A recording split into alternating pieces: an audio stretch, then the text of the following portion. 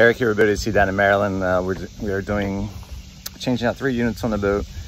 They're older Dometic Cruisair units, just not performing. And uh, we're gonna do a complete flush to the lines and uh, put all the new units in, fire it back up. But I wanna show you guys how we uh, come up with an innovative way of flushing lines.